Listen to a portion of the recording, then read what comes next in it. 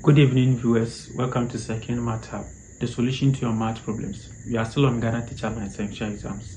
We are solving past questions on numeracy. April 2024. Question 12, I read. Days of the week are each written on the card. If a card is drawn at random, what is the probability of selecting at random a card with a day starting with the letter S? A day starting with the letter S. So let's try to list uh, the days of the week. So we have Monday, Tuesday, Wednesday, Thursday, Friday, Saturday, and Sunday.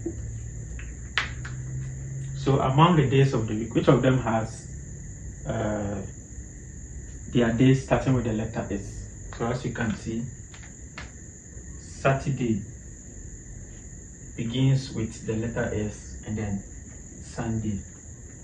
So we have two uh, days that have their letters beginning with S. So now how then do we calculate the probability of selecting a day of the week starting with the letter S? So now how many days, how many of the days? So we, we had only two, two of the days, that is Saturday and then Sunday, divided by the total number of days in the week. So what is the total number of days in the week? One, two, three, four, five, six, seven. So we have seven. So the probability of uh, selecting at random a card with a day starting with the letter S is giving us two out of seven. So looking at the alternatives, the right answer is option B. I hope you enjoyed this episode. Thanks for watching.